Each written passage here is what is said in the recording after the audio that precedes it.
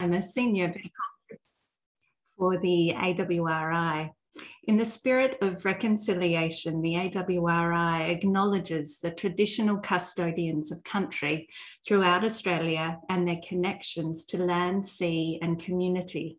We pay our respect to their elders, past and present, and extend that respect to all Aboriginal and Torres Strait Islander peoples today. I would also like to acknowledge Wine Australia for, for providing funding and support for webinars via the AWRI Extension Project. In this session, we will look at fungicide resistance in Australian viticulture. But before we jump in and make a start, a couple of reminders to everyone who is new to the AWRI webinars. If you would like to provide a comment or ask a question, please click on the Q&A button on the Zoom toolbar, type in your question and press send and it'll come through to us. Uh, we'll be holding the Q&A session at the end of the webinar. And just a reminder that the session will be recorded and a recording will be emailed out to you um, via our YouTube channel. So for anyone who has just joined us, welcome. Today's webinar topic is fungicide resistance in Australian viticulture. It's a great pleasure to welcome Dr. Suzanne McKay from SARDI, Dr. Ismail Ismail from SARDI, and Lincoln Harper from Curtin University. First up, we're going to hear from Dr. Suzanne McKay. Suzanne is a plant pathologist with more than 20 years of experience. Following completion of her PhD at the University of Adelaide, she has worked at the South Australian Research and Development Institute SARDI and the University of Adelaide on a variety of plant pathogen systems, including foliar and root diseases of lucerne, pulses, almonds, and Australian natives. She has just finished her work at SARDI on the Wine Australia funded project Fungicide Resistance in Viticulture. Suzanne has a has particular expertise in powdery mildew. Now, Suzanne has cleverly pre recorded her presentation that, as you can see, she is here live with us and she will be available to answer your questions at the end of the session. Thanks, Suzanne. Hi, my name's Suzanne McKay and I've been working um, at SARDI on the fungicide resistance project funded by Wine Australia for the last eight years. However, I've just left SARDI actually at the end of the year and um, I think um, gone into semi-retirement. So anyway, but I'm just going to talk to you about some of the work that we've done and that I've done in the last eight years. The research focus areas were on looking at fungicide resistance of powdery, downy and botrytis. Initially, in the first phase of the project, we really strongly focused on methodology development, collecting samples, and getting our systems working. And then to have uh, systems working so that we could test these um, various pathogens for fungicide resistance. And we do that by phenotype testing. So phenotype testing is laboratory bioassays in the case of powdery and downy um, uh, to test for resistance. We've also focused on genotyping, and this means where we're identifying and quantifying DNA mutations associated with resistance. And this is only in a particular group of fungicide or fungicides. We also try to understand the relationship between phenotyping and genotyping. So does genotyping, just detecting a mutation associated with resistance, does this give us a good indication of what's actually happening uh, with the resistance in the field? We've been working a lot. The project is progressing uh, towards improving and uh, really ramping up resistance detection to help people in the vineyard um, so they can improve their resistance management strategies ahead of time. We've been focusing on sample collection methods like using spore traps and other methods and genotype test methods. We've used a lot of next generation sequencing for powdery and downy and um, we're working towards development of in-field quantitative PCR. And I'm sure you're all familiar with uh, the term PCR given the recent COVID uh, pandemic that uses PCR testing to detect um, COVID. So moving on just briefly how resistance develops. If we look at uh, season one, for example, we have, for example here, these could be powdery mildew spores in a vineyard. In any vineyard anywhere in the world, you'll have resistant spores, spores that have already got mutations that are linked with resistance, and these just occur naturally. And often they just die off and don't have any effect in the vineyard. But let's say we're spraying a particular fungicide, and here we have some spores in the vineyard that are uh, resistant to that particular fungicide. Natural occurring, naturally occurring, just sitting, waiting around. So we spray the spray the fungicide, and we spray it again maybe next year or in the same season. So here we have what happens. We select for these resistant spores. So we kill off the susceptible ones, not all of them, but most of them, whereas the resistant ones stay and multiply and um, and remain from season to season. If we continue this, the same spraying, the same fungicide, particularly without rotation, um, then eventually we'll end up with a population predominantly of resistant spores and very few susceptible. And here we have this fungicide A would no longer work or tolerance would, you'd have decreased sensitivity followed by absolute resistance. This table here shows fungicide resistance assessment of risk. So this column shows the different fungicide classes for example, benzimidazoles, dicarboximides, phenylamides, SDHIs. What's not on here are the QOI fungicides, the, the um, uh, group 11s. Uh, down here, the DMIs, and then down here, the multi-sites. And you can see each group is associated with different risk due to its type of chemistry. So these fungicides here have a high risk of resistance development because they're single site fungicides. They target one particular site in, a, in the fungus. These ones here are for medium risk. They're often single sites as well, but it's a little more complex to the, the story is often a bit more complex than just targeting one single site. But generally these are medium risk, whereas your multi-sites have low risk because the fungicide targets multiple sites within that, uh, in that fungus. We also have pathogen risk. So the risk of the each fungus, in our case, because we're working on only fungi or predominantly fungi, um, although downy isn't truly a fungus, but anyway, let's not go there. That, so each pathogen has a different risk, and this depends on whether it, its type of how it sporulates, how it spreads, and the various environmental conditions. So seed-borne pathogens and soil-borne pathogens are a low risk of development of resistance. Things like your barley scald and wheat leaf blotch, medium risk. Whereas cereal powdery mildews and a lot of other mildews and Botrytis cinerea are high risk. If we're looking at grape powdery mildew and um, grape downy mildew, they actually straddle the two. They're medium-high risk. So if we look at, um, for example, the SDHIs, these are high risk. The fungicide is high risk. And if we're looking at Erysiphe necator, in which SDHIs are used, and we go up here and the risk, combined risk is somewhere between 6 and 9. So it, it's up getting up into the highest level of resistance risk. Where if we look at multi-sites, for example, they're low risk, even with using botrytis, even for example, which mm, they're not really, yeah, so even even if we, let sorry, let's say we stick with um, Erysiphe or Plasmopara, then the risk is much lower with the multi-sites, if negligible. There's never actually been any resistance found for copper or sulfur. So moving on to how we test powdery and downy, looking at phenotyping, these laboratory bioassays. So we've got, we cut leaf discs out of live grapevine, um, grapevine leaves. We spray fungicides on them, different concentrations. We either use a, a small number of rates, so more discriminatory dose, or a larger number of rates. And here we can work out things like EC50s, which gives an indication of uh, relative resistance. So let's say we've sprayed this, uh, this is a downy mildew example, sprayed this at field rate of a particular fungicide. It's not growing at field rate, we'd say it's sensitive. However, here we have it's growing at field rate, would say it's resistant. Same for powdery, the same thing. Here it's not growing at whatever rate we've sprayed it at, whereas it's growing at the rate, so we're saying it's resistant.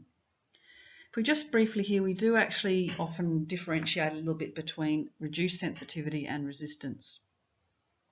So growing at the lower rates, we often say it's reduced sensitivity, and was growing at field rate is resistance. Phenotype testing is not absolute. It gives you an indication of what's happening, um, particularly with the field rates, a really good thing to do. Um, but at the other levels, it gives an indication. It's not an absolute measure of resistance. We're moving on to genotyping. These tables here show the different fungicide groups for the three uh, powdery, downy and botrytis. I won't focus on botrytis, I'll leave that up to Lincoln. So just looking here at the DMIs group 3s, they target a gene called CYP51 and the mutation in that particular gene is called the Y136F mutation and this affects the binding of the DMI fungicide to the fungus, to Erysiphe which has a, uh, causes a decrease in efficacy. The SDHIs, here, the, here are the, the mutations we're looking for, and the QOIs, this is the mutation we're looking for. We just look at these groups here, we notice that um, the mutations are not known, so we don't know the mechanism of resistance. Therefore, we can't detect a gene associated with resistance. Therefore, we have to rely on phenotyping. And just briefly, the downy, downy, so the phenylamides, which metalaxyl is one, we don't know the mechanism, so we have to do phenotype testing on the bioassay. Whereas these two groups, we do know the mutations that we can look for. So we detect and quantify the mutations associated with the resistance using uh, several methods, so quantitative PCR or digital PCR and DNA sequencing. As I said, if you don't know the mutation or the mechanism isn't known of resistance, then you can't genotype, you have to rely on phenotype. So testing powdery mildew to the QOIs. We had 150 viable isolates over the course of the project um, from uh, South Australia, Western Australia, Victoria, Tasmania and New South Wales. This is the number of samples that we actually tested to the three different QOI fungicides, trifloxystrobin, azoxystrobin and pyraclostrobin. So here we have for the trifloxystrobin, five of the samples that we tested five and 20% of those showed reduced sensitivity. I need to point out here though, these were from a particular field trial where flint was used um, in a different manner than recommended and therefore we have high, it is likely to have resistant uh, genotypes in there. So these are not just general fields, these are not just samples from any old vineyard. Um, for azoxystrobin, we had 13 samples, 61% had reduced sensitivity, um, and of 123 we tested to pyraclostrobin, 66% showed reduced sensitivity. So just bear in mind the number of samples. This biases the results, so we're not comparing the three fungicides and saying that there's more resistance to pyraclostrobin than trifloxystrobin. Uh, it's, it's reliant on the number of samples and the type of samples we get in. So some samples we might have a lot of sensitive anyway, that they're not sprayed much, and some samples we get from actual commercial uh, chemical company field sites, and they might have uh, slightly different resistance profiles. So it's just to give an idea of the results we're getting. Now, if we're looking at genotyping, we're looking at the mutation G143A. So we tested uh, genotyped 81 isolates out of the 150, and here we have those that we found had um, reduced sensitivity or low resistance, we're calling it here. 49% had the mutation, the G143A. Those that were high resistant, had higher um, decreased sensitivity, we really should say this is not really resistant, then um, they had 96% showed uh, had, had the mutation. So here we have, in total out of all the isolates, we had 91% showed um, had the G143A mutation. So most of these, so that's basically all of these that were showing reduced sensitivity contain the mutation, most of them anyway. So here we have this mutation is strongly associated with resistance. So if we get a sample in, we can test it for the mutation. then you can fairly confidently say that it is show, it is resistant or showing um, significant decreased sensitivity. We're just moving on to testing powdery mildew DMIs. We had 111 isolates phenotyped to at least one DMI. Uh, difenoconazole, tetraconazole, myclobutanil and penconazole. Here we have we had different numbers of isolates tested. So again, this is not to compare the different fungicides. This is not the aim of the game. Really, the two key ones here, difenoconazole, tetraconazole, out of the small number of isolates we tested, we didn't find any uh, with reduced sensitivity whereas a small number with myclobutanil had reduced sensitivity, and these were from a vineyard that we that suspected myclobutanil wasn't working anymore, and same for penconazole, slightly higher level. So we have out of all the isolates we, out of all the isolates we uh, tested, a high number had the Y136F genotype, which is associated with decreased sensitivity. But if you look here, these are quite low numbers with phenotype testing and not really showing much level of decreased sensitivity, whereas we've got high genetic, um, I guess, resistance. So this is really like a warning sign. It doesn't necessarily translate, it's not linked to the phenotype, it's not strongly linked to the phenotype results, but it's a warning sign that you've got potential for resistance. So there's other mechanisms in the DMIs like gene copy number. Just powdery mildew testing with other groups, um, a whole range of different fungicide groups we tested, and a, you know roughly 30 isolates or less to each group. We're showing a range of decreased sensitivity, none showing absolute resistance. Um, so again, looking if we just quickly look at group 13, the two group 13s, high level of decreased sensitivity for proquinazid compared to quinoxyfen, but we need to be careful here because these are not all the same isolates. So again, I don't want you to compare different fungicides. It's not about that, it's just the ones that we tested uh, had a high level of reduced sensitivity. But you can't genotype for these uh, for these fungicide groups because the resistance mechanism is not known, so we have to rely on phenotype testing for any other fungicides.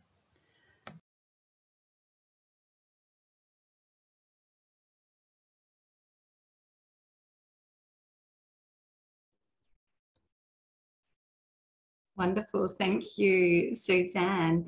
Um, now I'd like to introduce Lincoln Harper. Lincoln is currently based at the Centre for Crop and Disease Management at Curtin University in Perth. Western Australia. Since 2013, he has been involved in the Grapevine Fungicide Resistance Project funded by Wine Australia. In the project, his primary focus is investigating fungicide resistance in Botrytis cinerea. So Lincoln has also pre-recorded his presentation, but he is also uh, live with us today. So we'll hear his recording and then we can um, shoot Lincoln some questions for the Q&A session after.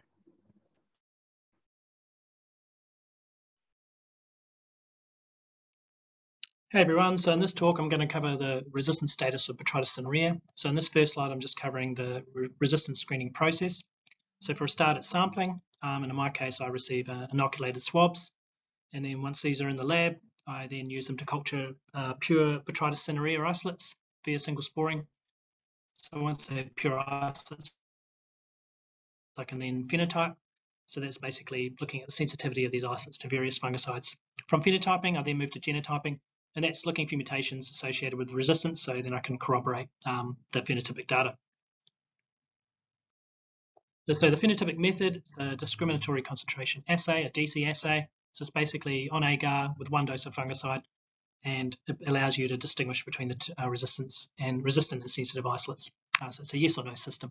So these DCs were developed um, in an earlier part of the project by um, characterizing baseline EC50s for a, a, subset of sensitive and resistant isolates. So EC50s are basically the doses of fungicide that reduces growth by 50%.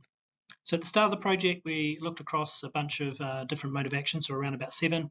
So groups 2, 3, 7, 9, 11, 12, and 17. Um, and more recently, we're focused on uh, groups 9, 12, and 17. For the phenotyping results to date, so I've looked at around about 1,000 isolates. So this column graph is just showing the frequencies on a per um, fungicide basis. So this, yeah, this graph won't consider uh, isolates resistant to more than one fungicide. So it's purely one fungicide. So for group 17, you're looking around about 3%, um, groups 12, group 12, 7, group 9, 8.2, and group 11, 5. So the group 11 uh, data is actually um, based on isolate sample from 2013 to 2016, so not on recent isolates. So um, just dividing this, dividing up these phenotyping results across the different states or heavily sampled states, so they are WA, South Australia, Victoria, New South Wales. So if you look within each state, the relative numbers across the groups are very similar. So group 17 frequency is usually quite low, group 9's a lot higher or a bit higher. Uh, as you go, if you compare um, between different states, those absolute numbers might be a little bit different. And there is multi-resistant isolates present across all of these states. So the genotyping techniques, so moving away from phenotyping now, genotyping. Um, so you can start start off with Sanger sequencing. So basically you send off sequences to a commercial company and they can sequence it for you. And then you send them back, they send them back to you, and then you can um, compare them to reference sequences to um, identify mutations. So a thing called CAPS, where you basically um, using PCR, you amplify um, the gene or part of the gene uh, where you know the mutation is, and you cleave it with an enzyme to see if that mutation is present or not. And then a couple of PCR-based methods. You've got quantitative PCR, qPCR, and digital PCR, which is dPCR. The genotyping results to date, this table is just showing uh, all the mutations were found that are associated with res resistance to group 12, uh, 17, 9, and 11. So they have an associated phenotype, so either an MR or an HR, which is um, medium resistance or high resistance respectively. So those MRs and HRs were defined by using the res resistance factors, and these resistance factors were created by um, um, basically comparing the EC50s of resistant isolates to, um, to uh, sensitive isolates. So the take-home message here is looking at groups 17 and 9. Uh, there's two common mutations for those, F412S and L412F, uh, respectively. So they are widely distributed. So they're um, in those heavily sampled states of WA, Victoria, and South Australia. So from here, we have a bunch of mutations now that are potential markers for development development of um, diagnostic tools, so whether they be um, in the lab or in the field. So uh, just the conclusions from um, this work. Um, so yeah, frequencies are low, three to eight percent across the whole collection, and if, yeah, so low when you compare them to overseas published studies. Uh, these low frequencies are probably maintained primarily by the limits to, to sprays. So at the moment, it's one to two sprays per season per mode of action. Um, other factors may, be, may contribute to these low frequencies. So fitness costs may be at play here. So that's basically mutants um, have, can have fitness costs, which um, basically can suppress their frequency. Um, also, the year of introduction of a fungicide and the relative cost of a fungicide could affect its um, usage. So future work uh, is maintaining monitoring of these critical mode of actions, so the group 9, 12, and 17, and also to um, carry on genotyping. So looking for new mutations that we can add to uh, the diagnostic pipeline. Thank you.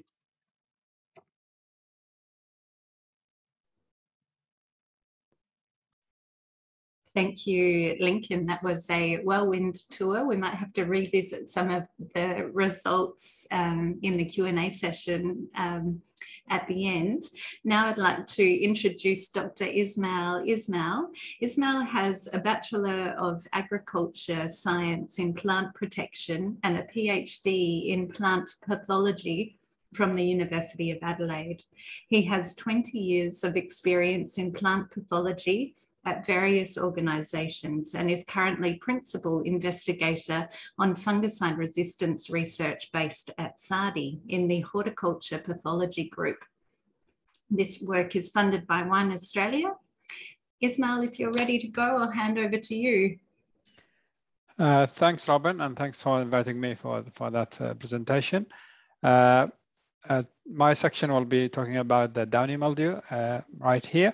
So as you can see here, that's the, the table show the, the sample has been collected uh, uh, during two uh, different projects.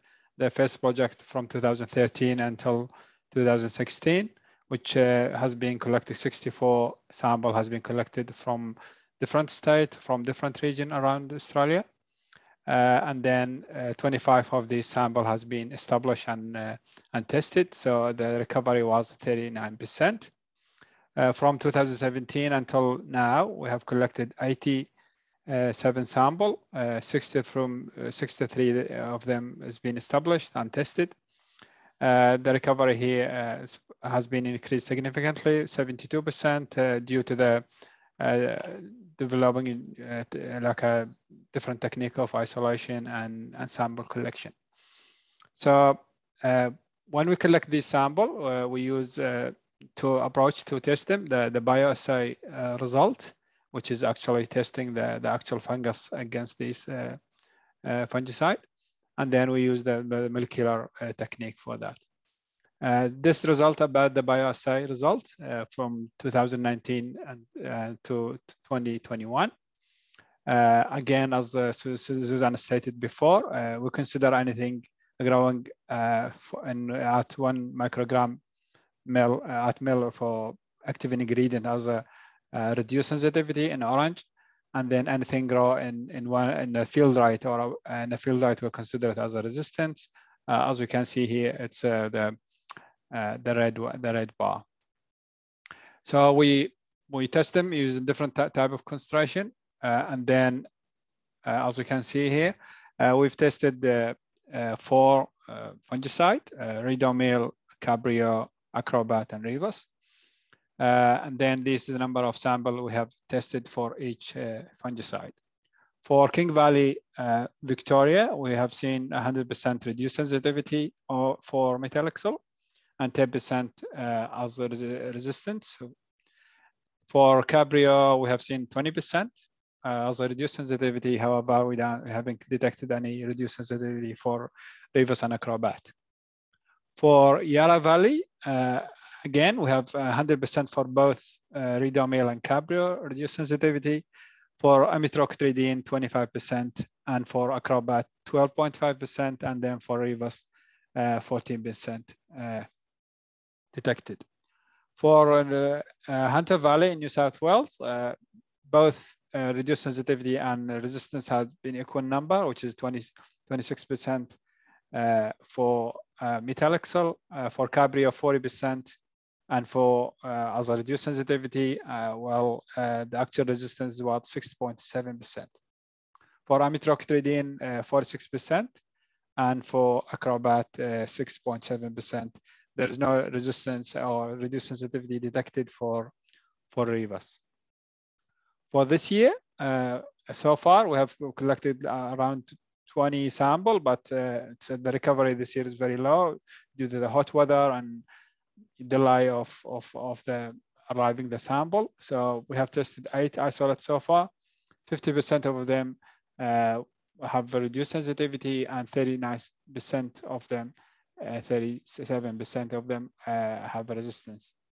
For the Acrobat, we have a quite significant number, 75%. Uh, and then we need to, to look at that. So again, uh, it's not uh, all, all bad news. it's only most of them reduce sensitivity. So, and then we need to make sure, I must say that most of the samples being collected from this area have issue or have uh, concern about about sensitivity. So it's a, a fairly selective uh, selective samples being sent. For uh, molecular test, we do the molecular test for uh, this isolate we have collected. Uh, we are looking for uh, two type of mutation, the G143A, which is responsible for group 11 QOIs resistance, and G1105S, which is responsible uh, or associated with the group 40 resistance.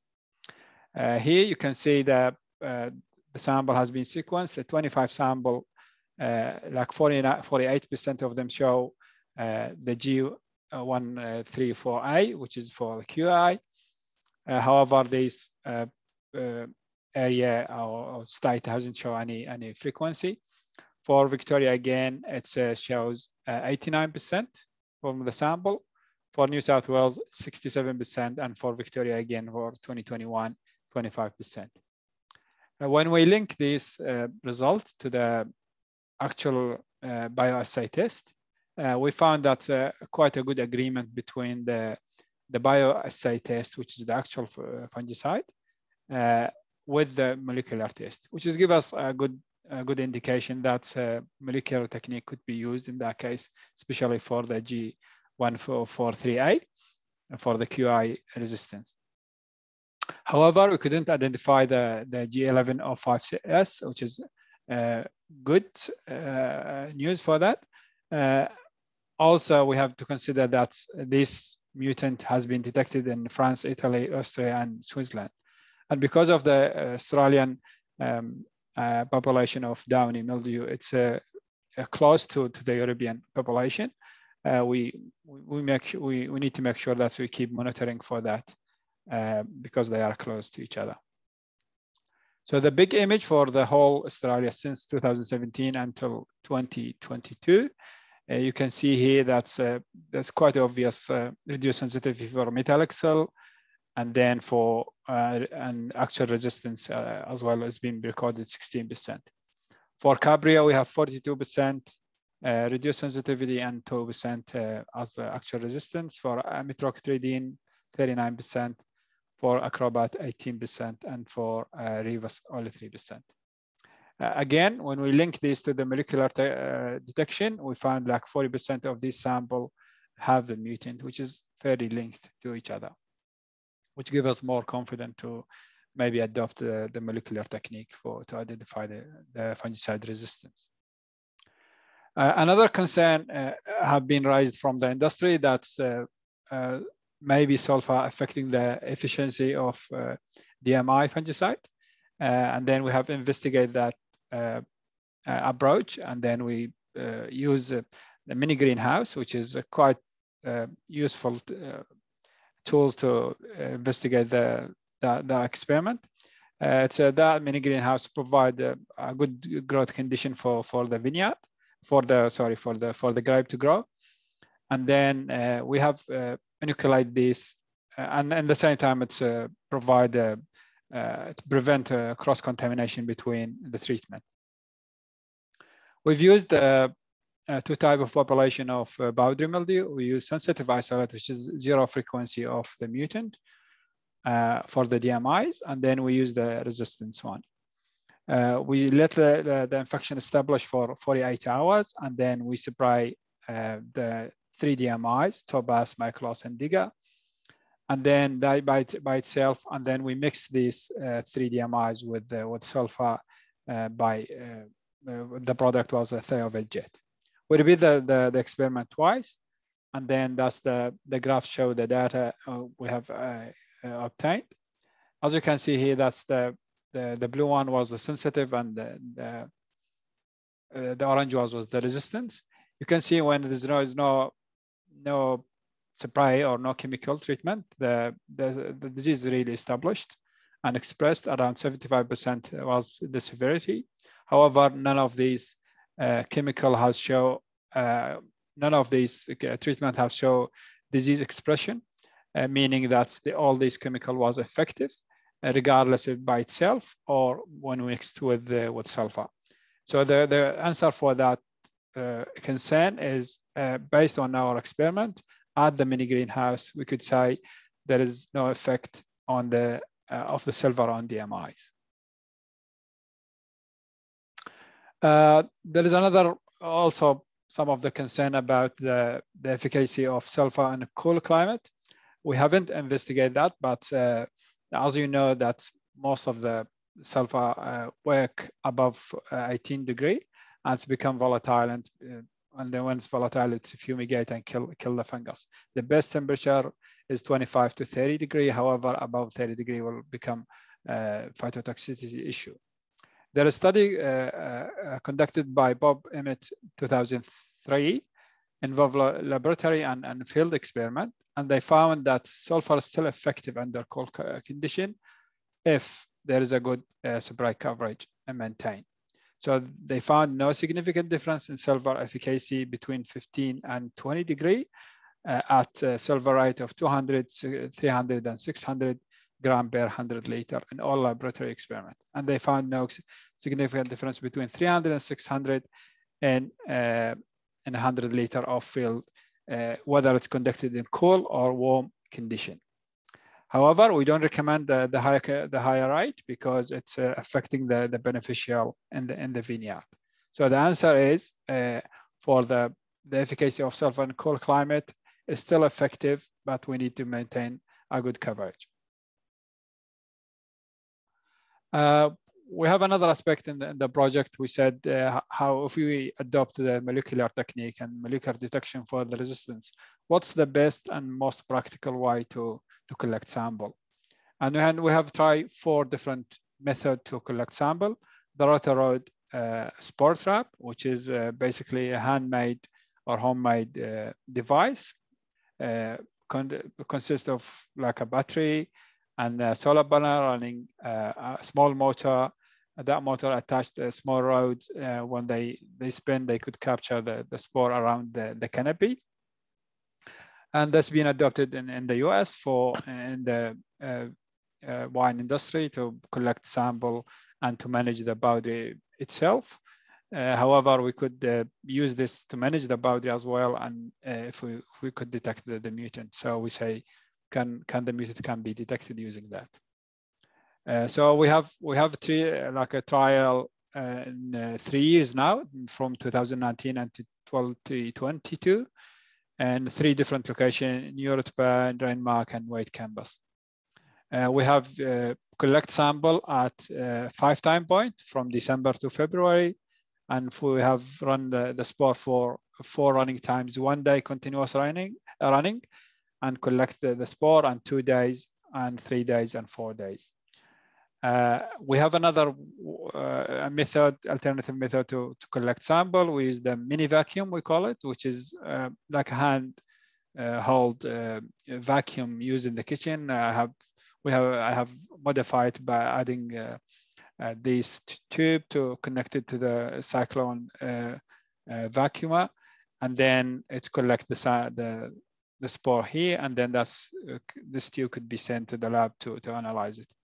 Another conventional method, which is uh, leaf washing, uh, basically putting the leaf in a plastic bag with some water and shake them, and then collect the, the solution and send it for the lab. Uh, for cotton uh, bud swab, which is very easy and practical, uh, you can use it as, as well for to sequence or identify the resistance.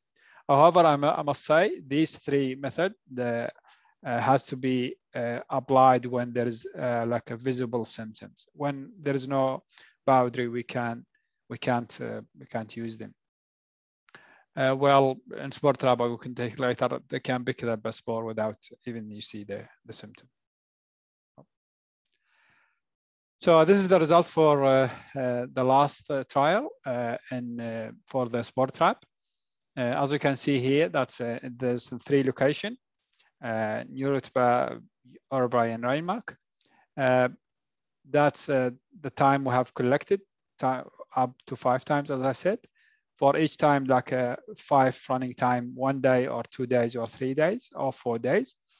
So uh, that the spore trap has picked up the mutant uh, and uh, most of the time, especially when there is like a disease uh, present. Uh, the mutant is uh, Y36F uh, for DMIs and G143A for um, QIs, and then H2 do two for 2X for SDHI.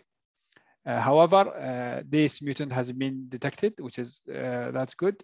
there is no uh, like mutation on that. Uh, well, these two mutation has been detected in Europe of over the time, most of the time. Uh, comparing to Urrbrae, which is uh, here in Waite Campus, we couldn't de detect the, the mutant. Uh, I think that, that, they're doing a pretty good job for managing that vineyard for not infecting by, by boundary. And rain markets only two uh, occasion and the 15th of December and on the 8th of January. Even uh, uh, this symptom wasn't uh, visible, so we can't see the symptom. However, still uh, the spore trap can capture this. Uh, while when we, uh, because this in, in Europe, there is like a very expressed disease and visible, we could use these three methods, which is the mini vacuum and cotton bud and washing the leaf. And then as you can see, bo both of these, uh, both of the mutant can be detected using that, uh, that these methods. So uh, the, the summary for that, it's a Rotorod, Rotorod sampling and molecular detection method is a powerful tool to identify the powdery mildew and the mutant, especially associated with the, with the resistance. So the take home message is very quickly here. Uh, the QIs, uh, as uh, Suzanne mentioned, that have a moderate to uh, high level of resistance detected. There's a good link between phenotyping and genotyping. For the DMIs, uh, we have low level of uh, phenotypic sensitivity. however, we have high level of, of mutation, other mechanism involved, like a copy number and other mutation, and there is no effect of DMI when mixed with sulfur. Uh, for SDHI, there is like a, uh, we could see probable uh, decreased sensitivity, uh, and then we could identify the, the mutant. Uh, the resistance for unknown for this group, group 5, 13, 50, and U2 and U6. And there is like a possible uh, decreased sensitivity for that. However, we only the phenotype we can use those these for to detect this this uh, this resistance. Sulfur is effective in a cool climate if the if the good coverage is maintained, and Rotorod uh, spore trap is effective in detecting the resistance. That's all for me, I think, for now. So I'll stop sharing. Thank you, Ismail. That was a very comprehensive presentation um, and good news about sulfur in cool climates um, and the lower rates being as effective as the higher rates when good coverage is achieved. Um, now we've got one ex, uh, extra presentation uh, from Lincoln and then we will move into the Q&A session.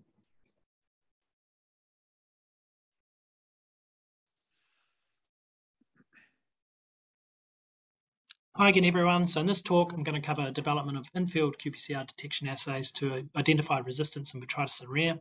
So this first slide is just covering the whole in-field detection pipeline. So basically start off with sampling, and this is whereby you harvest infected berries and place them in small tubes. Once they're in these small tubes, you have add, add an extraction buffer, and then you hand grind that material with a micropestle. Uh, once you have that slurry, you then dilute that slurry out and use that dilution in a qPCR reaction.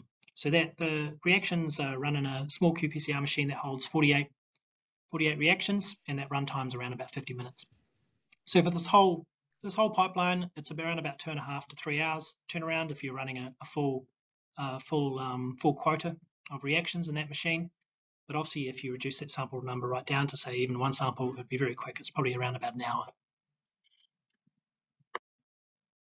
There's just some of the, um, a little bit of background to qPCR. So it's quantitative PCR or real-time PCR.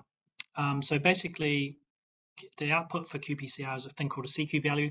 So a low CQ value is associated with a high concentration of DNA, and a high CQ value is associated with a low concentration of DNA. So you can run these things called standard curves um, in qPCR. So that's basically you plot your CQ against uh, known concentrations of DNA, and from there, you can then predict um, the concentration of unknown, um, uh, the concentration of DNA in unknown samples. So the current assays I'm working with, so they're all duplex assays. So that basically is an assay that has two probes, one probe that binds the wild type DNA and one that binds the mutant uh, DNA. So they are assessed simultaneously in the same reaction. So I've got three for botrytis, and I am actually working on a powdery mildew one for group 11.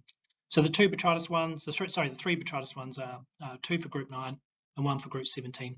And two of the three here are the commonly uh, found mutations for group 9 and group 17. So that's L412F and F412S, respectively, which I mentioned um, in, my, in my other talk. So all of the botrytis ones have been field tested, and the um, mildew one has only been um, only been tested in the lab.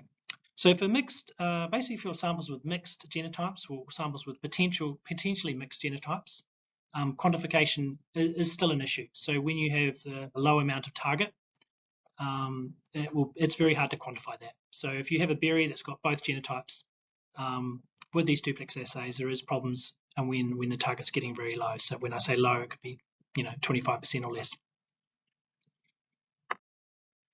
So some of the field testing. So this is the first uh, first one we did back in uh, 2020 now in WA, Margaret River.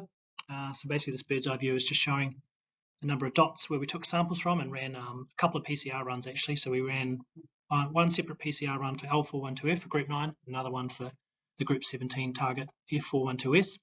As the white dots indicate wild type, and then yellow is where just the L412F um, mutant was found, and then the red indicates where we found both.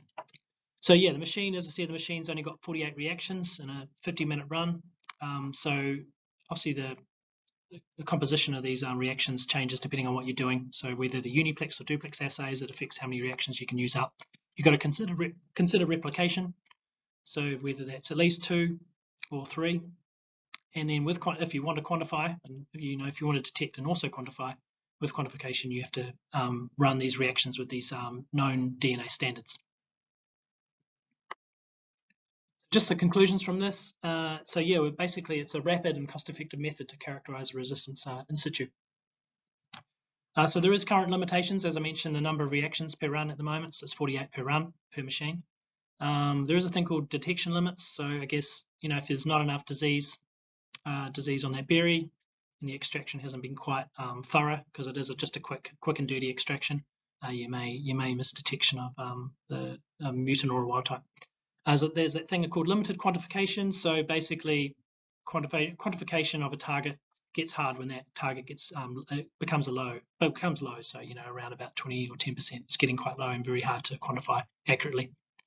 And with qpCR, you have a max of uh, three targets per reaction. So you could potentially do a triplex. We have a wild type and two mutants. So that's another thing that, um, that can be developed.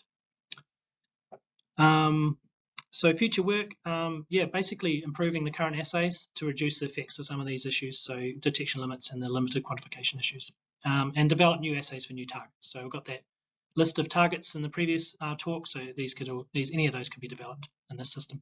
I uh, would like to combine with spore trapping technologies or other sources of biomass as well. So not just use it at the end of the season like um, like I've um, done so far.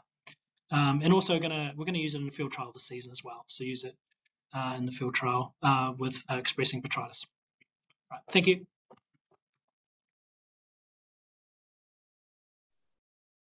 Thank you, Lincoln. Now I'd like to introduce um, or invite Suzanne, Ismail and Lincoln to rejoin us for the Q&A session. And I'd like to invite Associate Professor Fran Lopez and Dr. Mark Sosnowski to join us for the Q&A session as well. So Fran leads the fungicide resistance group with the center within the Centre for Crop and Disease Management at Curtin University, and Mark Sosnowski leads the horticulture pathology subprogram at SARDI, SARDI and is an affiliate senior lecturer at the University of Adelaide. So welcome everyone. Uh, we've got a few questions here for for you. So, Suzanne, I'll start with you, please. So, Leanne has provided yep. a question. So, FRAC classifies SDHI as medium, medium to high risk rather yep. than high risk. Yep, no, she's right. That's, um, right. uh, how do I? I think I think that's my my uh, printing mistake. Whoops! Yes, Ismail yeah. did the slides, and so because I think yeah, I think it's been covered under yeah. underneath that. Uh, yeah. I, I realized that.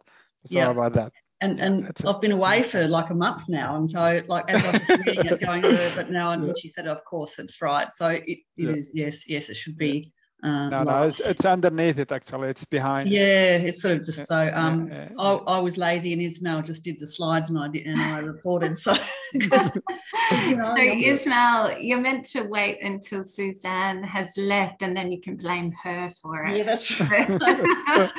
uh, next time, don't worry. Um, can I just say, I think we forgot to do the Ismail was going to do a final. Um, future project thing. Oh, so that, I beg your pardon. That's all right. I mean, we yeah. can do that after all the questions or whatever first, but I just. Oh, mm, that's I right. Pardon. Uh, it's only that, five minutes or less. It's only really quick, but it's just the sort of final wrap up of where the project's going, which I think is pretty important. So, well, yeah. um, let's get that happening now, Ismail. I apologize um, for the confusion.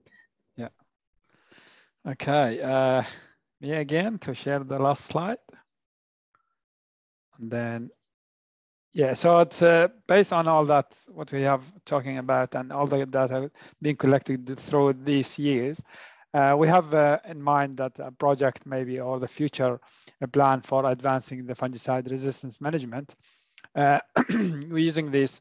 So the purpose of that project is actually to speed up the, the testing and to make it easier and uh, accurate and it's more practical for the grower to use it. So the, the, the idea is to uh, testing the, the fungicide resistance using, if it's the mechanism known, using these moleculars have been developed. Anything highlighted here has been developed uh, and they're all under development.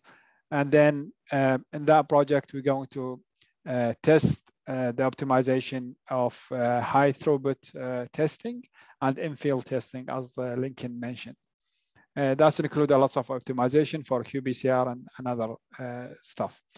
also, we're going to optimize the, the, the, sampling protocol, how much we need, how many hundred of thousand of sample to cover the whole uh, region, um, growing region or area or vineyard or all that we need to, to optimize it to give a good picture of uh, what's that mean, how much we need to, to collect sample from these. This will feed up to the uh, fungicide resistance management. Uh, by using all of that information, we could uh, optimize the sample collection, how, how much we need and all of that and when we need it.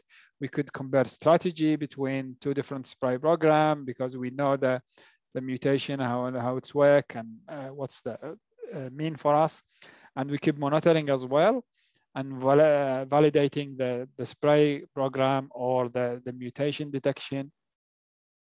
Also, we could keep keep in mind because some of the other group of, of uh, fungicide, we can't use the, the molecular technique. We keep we keep in mind we have to continue use phenotyping uh, as a as a, the traditional way.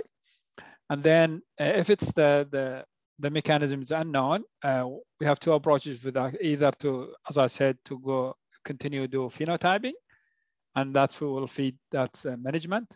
Or uh, we could use the, the discovery uh, of new mutant. That discovery of a new mutant will add to that box, and then that will uh, uh, develop a new marker, and that's marker feed up to again to the whole process.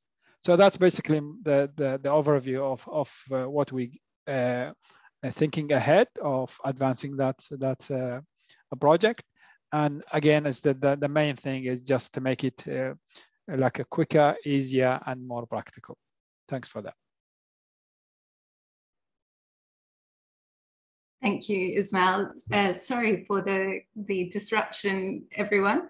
Um, so I'd like to invite everyone back on and we will continue with our Q&A session.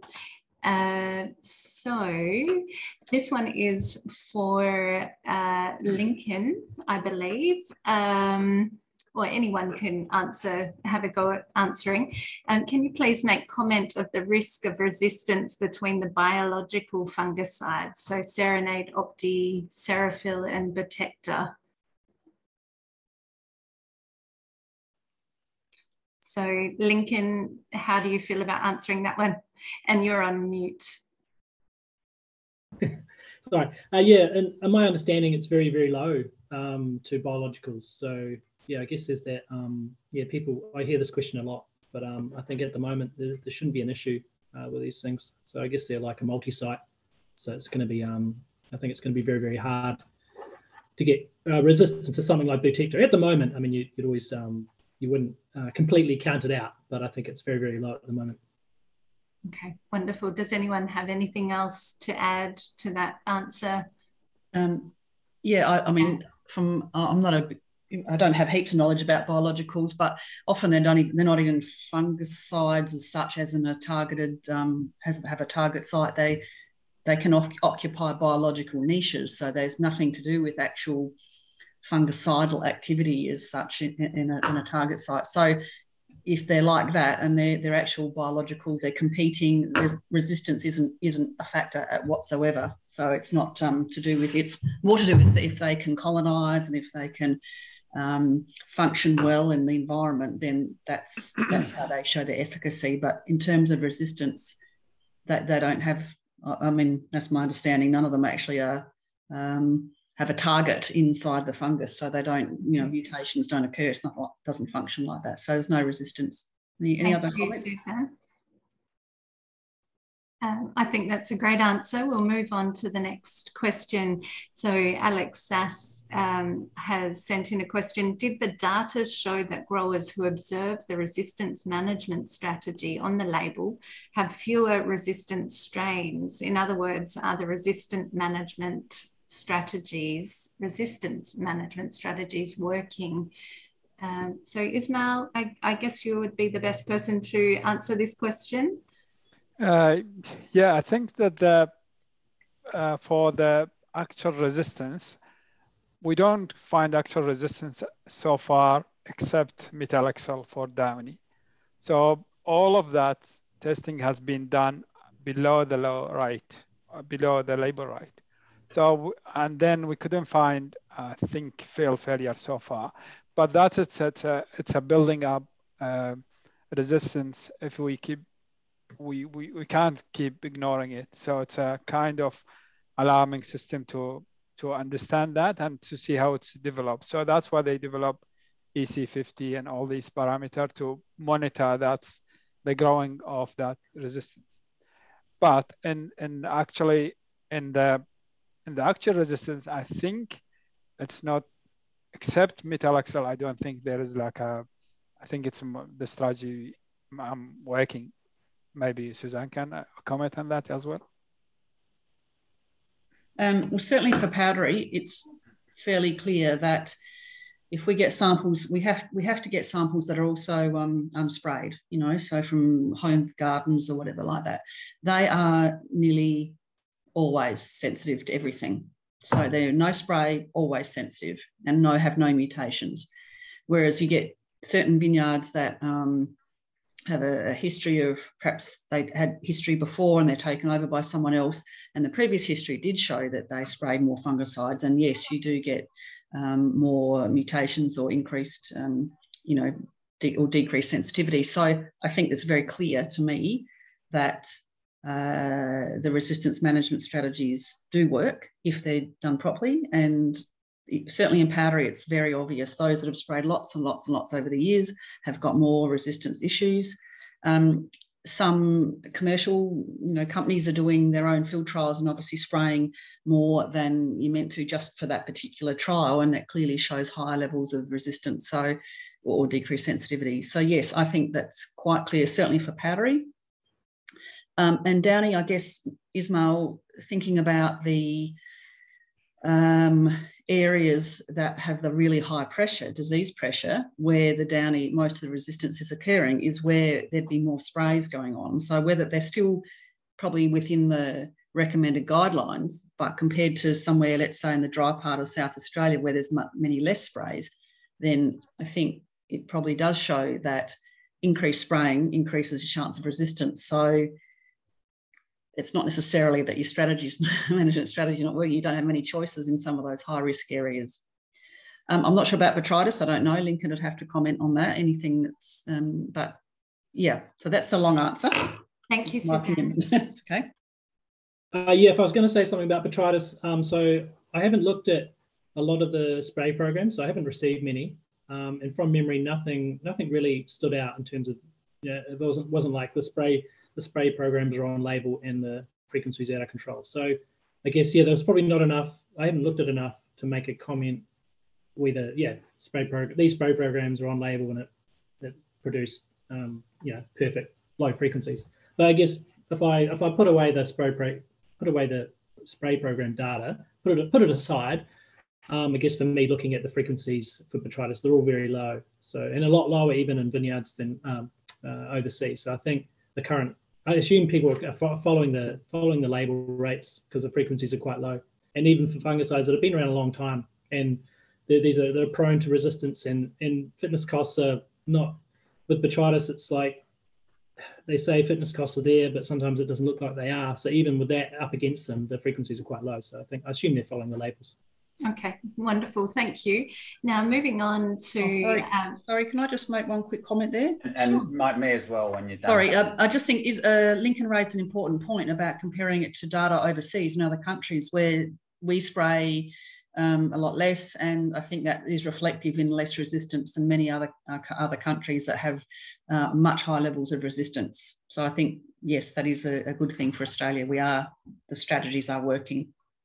Okay. And if Thank I could you. just make a final comment, just keep in mind that the project to date has really only relied on samples that have come from people who are having more problems than, mm-hmm. than in good situations. So we can't really answer um, Alex's question because good, you know, people who are following the rules are generally not sending samples in because they don't have samples to send in. So, mm-hmm.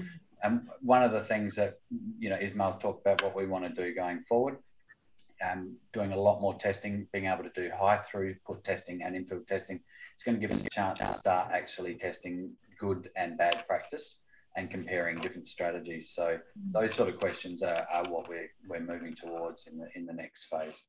Great, thank you.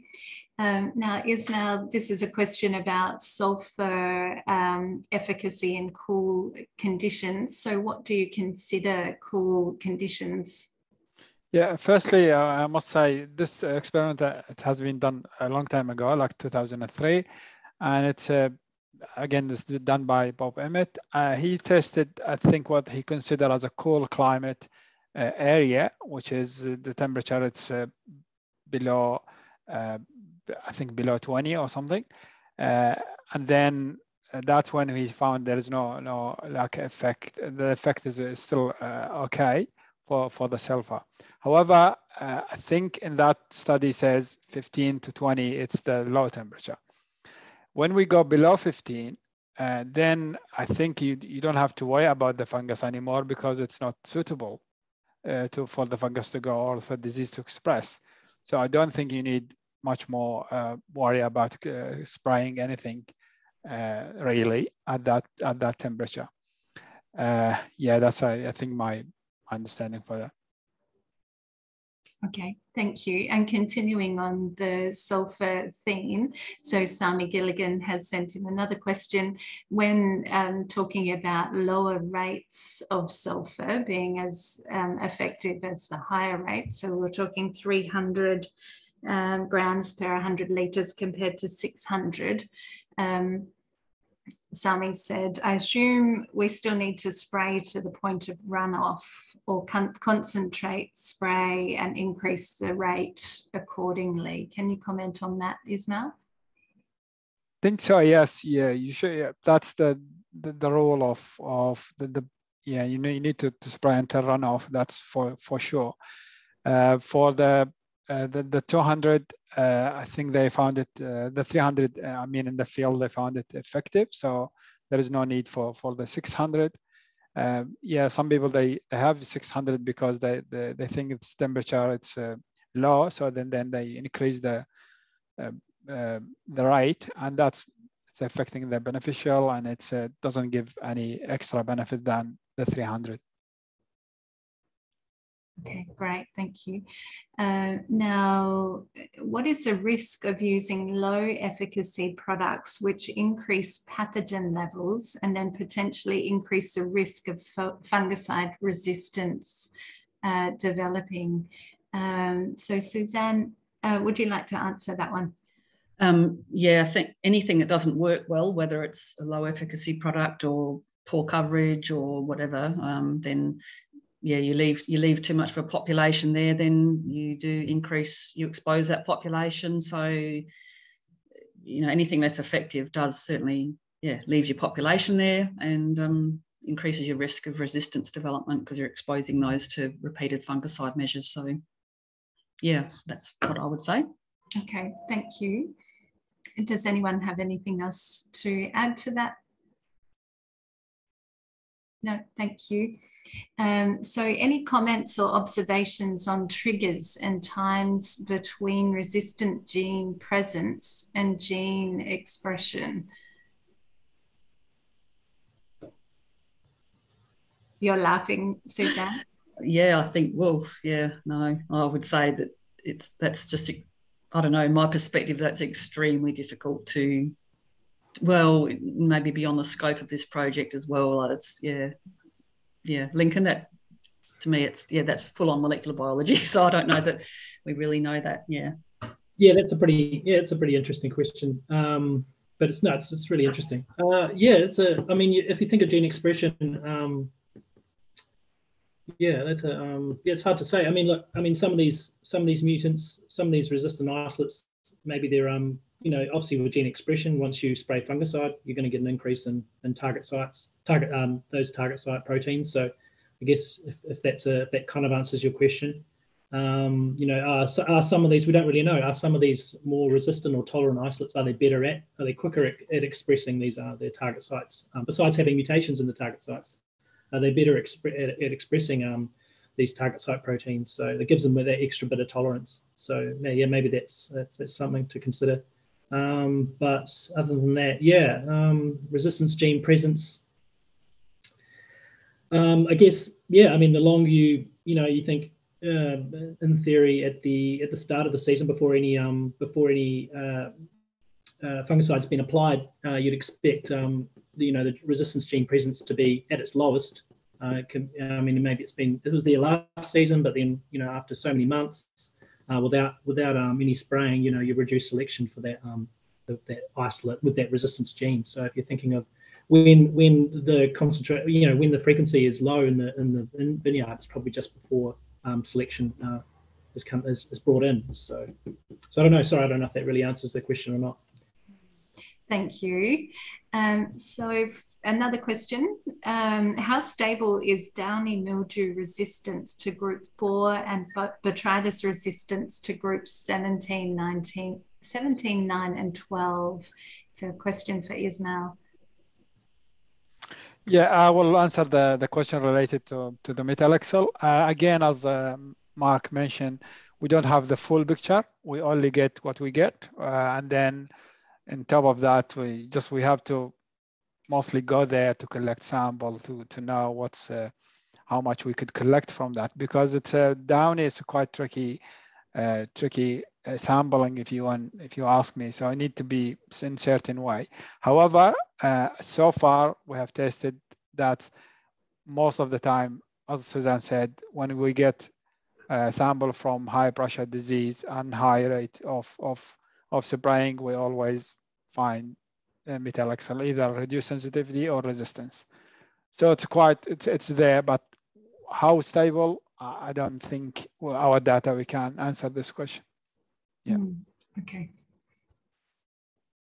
Uh, so we've got a resistance management question. So if you have good results with one activity group, um, so not a multi-site one, so one of the ones with risk of resistance developing um, in one growing season for a disease and follow the resistance guidelines, is there any reason you can't apply it in season two? Um, Suzanne, would you like to answer Can that? you just one? repeat that because I can't see it on screen. So oh, sorry, apologies. Um, so if you've had good results with um, one fungicide from a particular activity group, so not a multi-site um, activity group, in one growing season, and you've followed all the resistance guidelines, is there a reason why you can't apply it in the second season? And I guess uh, to the resistance guidelines will tell you whether you can apply it in the following season or not. But do you have anything else to add to that? Well, uh, no, I think you just follow the guidelines. I mean, the more rotation you've got with the groups, which in powdery you've got a lot more flexibility than some of the others. So I guess if you are looking really, really long term, then you know more rotation and less use of a chemical. The more you use a chemical, the more risk you have of resistance development. So yes, it might be working this year, maybe five years it's not. So better to rotate if you can, but no, that's right. You're following the guidelines. That's that's yeah, I would say if you looks like it's working, then that's no, you follow your guidelines.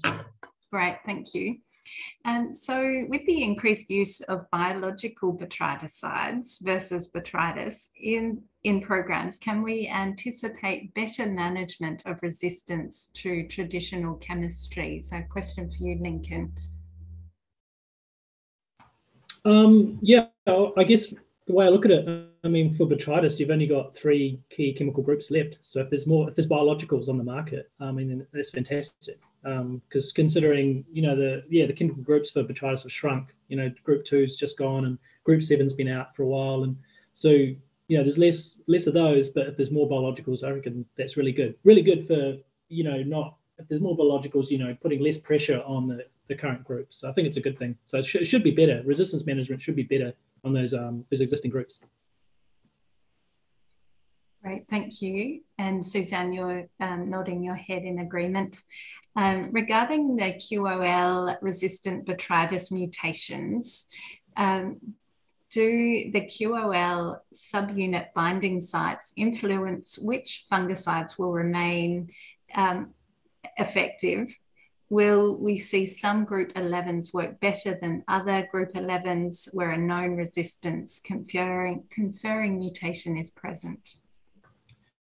Yeah, okay. So for both both those questions, I'm going to say no. So especially for botrytis. So with botrytis, um, I'm pretty sure there's only one mutation that's been found, G143A. I think in other species there is other mutations, but um, I think with G143A, um, there's I'm 99 percent sure there's cross resistance. So whatever doesn't doesn't matter what Q, QOI you're using, um, the G143A is going to give um, give give you give the give an isolate a pretty good pretty good um, level of resistance to any of those QOIs. So in other species it might be different. So yeah.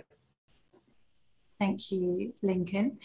Oh, sorry. While I'm on it, sorry, Robin. Um, there was a question from yeah, there's a question from Jeff about the botrytis stability of um, I'm not wasn't sure if we quite answered it. So yeah, he Jeff was asking about botrytis resistance, the stability of botrytis resistance to group 17, 9, and 12. So I might yes. well just quickly answer there. Right. So I guess um, yeah, I guess in terms of stability, uh, without without um, without selection, so not using the fungicide, um, I think, I mean, over time, these you know the resistance, these these things are pretty stable, especially for groups nine and nine and uh, seventeen. Not so much for twelve. I think fitness costs are potentially higher in twelve than nine and seventeen. So yes, without without using those fungicides, I think over time uh, you'd expect those frequencies to um, to reduce for those three groups, but um, especially in the 12 compared to the 17 and 9. But obviously, when you're using fungicide, um, that's a different story. Okay. Thank you. Um, Mark, there's a couple of questions here about um, resistance um, of um, other fungi. So, um. Um, so, do we do we know much about the resistance of Eutypa to um, the sprays that we apply? Um, and if so, which groups are at risk? So, so there's no um, there's no sign at all of any resistance to any of the trunk disease pathogens, um, and we don't really anticipate that becoming a problem because if you compare the trunk diseases, their their life cycle is much longer. The, the life cycle is is can be up to you know four or five years between you know, just in one full cycle. So spraying um, something like powdery mildew, which has many life cycles in, you know, every second week, you've got a new life cycle, you have a lot more chance for resistance to build up. So with trunk diseases, it would take many, many decades for the resistance to, even um, come close to building up. So at this point, we're not looking at it. When we haven't studied it. We haven't. Um, we're not not concerned about it. And the, the second another part of that question that I often get asked is, you know, some of the fungicides that are registered for trunk diseases for, for winter application, for dormant application, um, the concern of that application if it's if it's a, a, fungicide that you also use for your foliar diseases during the season. So essentially, it's it doesn't add an extra um, an extra spray to that during the season spray limit because while the vines are dormant, there's no activity, there's no reproduction of the either the any of the other pathogens over that time. So you're not adding to the potential risk of fungicide resistance to your foliar diseases when you do your winter dormant application. Okay, thank you. That's a really good point to make. Um, so, in regards to Suzanne's comments about the home garden um, or unsprayed vineyards sh um, showing little to no resistance um, and mutations. Uh, they're asking if um, if some sometimes when you're going out to spray a vineyard, you may be spraying for one pathogen, and you say, "Oh well, we made it. May as well go out and spray." Um, so for downy as well as powdery at the same time. But if you're not seeing any powdery issues, should you drop that spray out to reduce um, the risk of of resistance developing? So, firstly, oh, in theory, yes, you could in theory, yes. Well, sulfur, you're not going to get resistance anyway. So sulfur's not the problem. But um, you certainly, yes, in theory, the less you spray, the less potential resistance. But that's not in a in a vineyard where you've got. Uh, it's different than a little home garden where there's only one vine or two vines, and um, you can easily control an outbreak if you need to. But in a vineyard, no. The moment you see powdery, it's a little bit too late. So you do have to get onto it really, really early. I mean, you've got to think, you know, you're growing vines to make wine generally, and so you don't want powdery because it'll you know taint the wine. So no, not really. In reality, no. You, you, need to spray to control powdery and need to have a good tight program. Sulfur is not a resistance issue. Um, it's not. That's going to not. You want to decrease your population very, very early so that you don't get that population exposed to you single site fungicides later. Yes, in theory, no, you don't spray anything, and you won't get resistance. But of course, that's not you, know, in a commercial vineyard, that's not going, um, going to help you at all. You'll just get rampant powdery and, and uh, have really poor quality, you know, grapes. Mm, thank you. Um, and this kind of flows on to a, a, comment that Ismail made about spraying sulfur in cool conditions. You were saying that when it's below 15 degrees, then powder is not generally an issue. Um, but I guess when growers are um, trying to keep cover, protective cover on, on their canopy. Um, they're looking at um, the growth stage and how much unprotected canopy they've got on there when they're timing those sprays. So even if it is cool and they put on the sulfur uh, in the next couple of weeks as the temperatures increase, um, that sulfur is still going to provide protection. Um, would you agree with that comment? Um, and you're on mute at the moment, Ismail.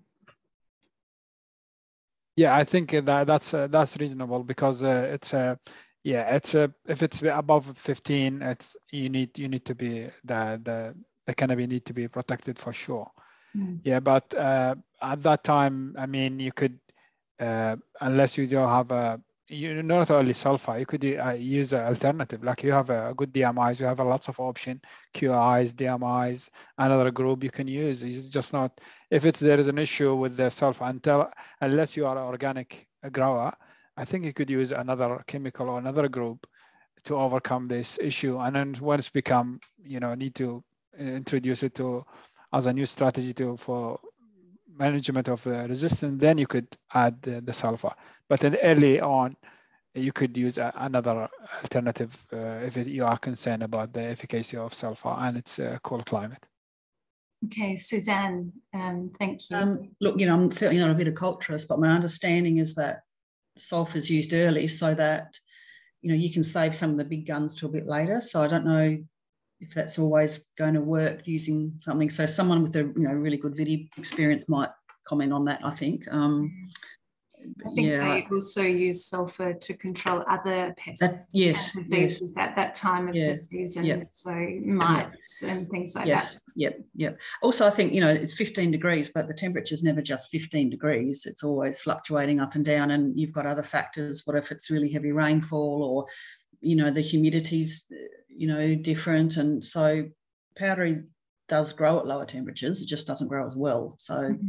you know, it, it, it, depends on, it's not going to be 15 degrees for a whole month. Just, you know, well, some places may well be, I guess, some of the really, really cool places, but it's a bit more complex, unfortunately, than just saying 15 degrees, I think. Yeah. My take. I don't know. Any other comments for anyone? And if you get good coverage, you're still going to get that um, protection, aren't you? You don't need that um, yeah. volatile activity to provide that protection.